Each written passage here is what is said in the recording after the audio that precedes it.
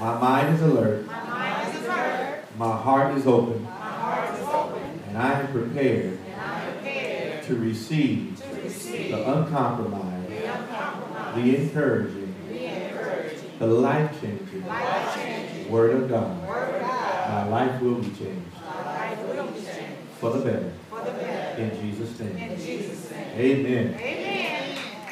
Give God some praise. Amen. Oh, y'all don't know what you just did. See, now that, what you just did is you just added some hope to your faith. Faith was you saying the words, but hope was you releasing the expectancy. You expected to receive, and the Bible says that whatsoever things you desire, when you pray, believe and receive, and you shall have them. Somebody said, I have hope I have hope mixed with my faith, mixed with my faith, and I shall receive. and I shall receive. In the book of John, chapter number, First John, the book of First John, chapter number 5 and verse number 4, we find our text for this exciting new series that God allowed me to finally get to after, wow, 60 years of living. Here it is. For everyone that has been born of God overcomes the world. Somebody say, all my problems All my problems are in the world. Are in the world. But everyone that's born of God overcomes the world. And this is the victory that overcomes the world, even Our faith. Church, I'm teaching from the life changing, life building, life blessing series. It's a series because I, I want to stay with this for a few weeks because it's going to take a while for us to really get into this. And it's entitled Victorious in Our Relationships. Victor, can you say that with me? Victorious in our relationships. My God, my God. Uh, some of you know that a few years ago, I asked God to give me one of the desires of my heart. And one of the desires of my heart, and I was telling the ministers this morning, the desires of your heart are typically those things that are secret. You know, nobody knows about them. Sometimes your spouse doesn't even know about them. Sometimes you don't even know about them. God has to give you the desires of your heart. But one of the desires of my heart was that I would be able to write contemporary plays. Because I've been doing all these, you know, plays, Christmas plays, Easter plays. Great. But I was like, man, I want to I wanna do something contemporary because I think that's what's going to reach people. And God, three years ago, He gave me the desire of my heart. And I wrote my first contemporary gospel play, which was entitled, I Ain't Trying to Hear That. And it was a play about relationships. Was that a good play? Y'all remember the play? Amen? Give God some praise. Amen? And I noticed that when I wrote the play, we did the play about these relationships, there's one of the actors back there, some actors back there, that people really came out in the droves because, especially black folk, they all, you say relationships, they're like, ooh, I'm going to find out, because everybody wants to make their relationships better, right? Amen. You know, uh, I could, this could actually be one of the, uh, the main key statements, but we are the sum total of our relationships. We really are. And I'm not just talking about sexual relationships. Relationships. We are the sum total of our. So you really you can't rise above the level of your relationships. If you got if you got some shaky bad relationships, you uh-huh. you know, and, and in fact, growing up, we all you know birds of a feather. What? And, you know, I mean, you can't rise above the level of your relationship.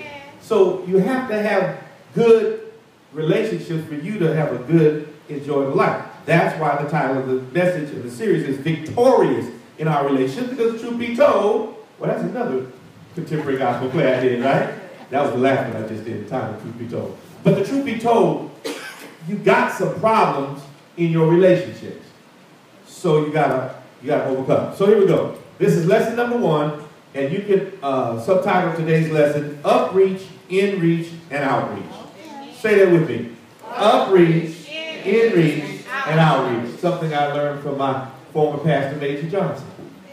Taught me very well that the whole story has to do with upreach, inreach, and outreach. In other words, the correct order of love. Upreach, inreach, and outreach is the correct order of love. Now, you may have never thought about it like that, but you're going to learn something today. Somebody say, there is, There is an order an order to love. to love. Isn't that interesting? What do you mean, Pastor? I just love people. No, no, there's an order to love. And if you don't understand it, if you don't follow the correct order, that's why you're struggling in your relationships. Because there is a formula, or even better said, there's an order that God Himself has laid out. And if you follow that order, then your relationships are going to be a lot better. And since you're a, a, a, a sum of your the totality of your relationship, then everything in your life is going to be better. Amen? Amen. Now you know what I always say: if I don't what, I don't show it to the Bible. You don't have to believe it, but you know I'm gonna show it to you. I'm gonna show it to you because there is an order by which you got to love and by which your relationship would be better. Now, before we get into me showing you that, I want to give you some reminders because I like to remind us of what we've been learning kind of all year long. Because different series, different title, but it's all connected. First reminder is I want you to I want to remind you of what victory means. I know it sounds pretty simple, but uh, I want to make sure you got it. The title is Victorious in Our Relationship. What does victory mean? Victory means overcoming. Victory means overcoming. Now that's a very important point because it means that you must have something to come over. Don't ever, don't ever walk around thinking like this. Oh, why me, God? Why me? I'm going through. Everybody going through. The, the, Bible says it like this. It says, in this world you shall have what? Tribulation. But be of good cheer or be of good courage. Jesus said, for I have overcome the world. And in him, he said, you can overcome too. Yes. Say, through Jesus, through Jesus I'm an overcomer. In fact, uh, Paul says it like this. He said, you're more than a conqueror. That's another synonym for overcomer. Say, I'm victorious. I'm victorious. Say, I'm an overcomer. I'm an overcomer. Say, I'm more than a conqueror. I'm more than a so this, this, is, this is who we are through Jesus. Jesus, notice, he promised us that we would be victorious, overcomers, and conquerors, but he never promised us that we wouldn't have any tribulation. He just promised us that in him we would overcome. It's like, you ever watch the uh, Olympics and they have uh, one event is called the hurdles. Yes. They have to jump over these hurdles, right? That's, that's how it has to happen. Well, those hurdles are the things in life, the tribulations in our life. Yes. You can't you can't run through them, you, but you can jump over them. They're there. Somebody said they're there. They're, there. they're obstacles in your way, but but but through Christ you can come over them. Amen, somebody? Amen. Well, how do you come over them? Well, uh, I thought this was a good time to remind you all of our year's theme. Because I know I give you the year's theme at the beginning of the year, and here we are, basically mid-year, right? And if I ask you what the year's theme is, y'all be like, uh, let's see. Uh, but you know what it is? Is it up there? Our year's theme is what? Victorious. And see, y'all said faith, hope, and love. Yeah, yeah, but victorious through faith, hope, and love. In other words, how do you overcome? Through faith, hope, and love. There are three spiritual laws that you got to use all the time. And it's faith, hope, and love. But the whole point is you, you're victorious. So our year's theme is what? Say victorious. Victorious. Through faith, hope, and love. Through faith, hope, and so I'm reminding you all the time that you're going to have. It, when, I, when God first gave me the theme, I thought it was a great theme. But as the years gone by, I realized something that I didn't understand at the beginning of the year. And that was the only way you can be victorious is have a whole lot of obstacles. There's no victory without adversity. In fact, the greatest victory always has the greatest adversity. Why is the gospel the greatest story ever told?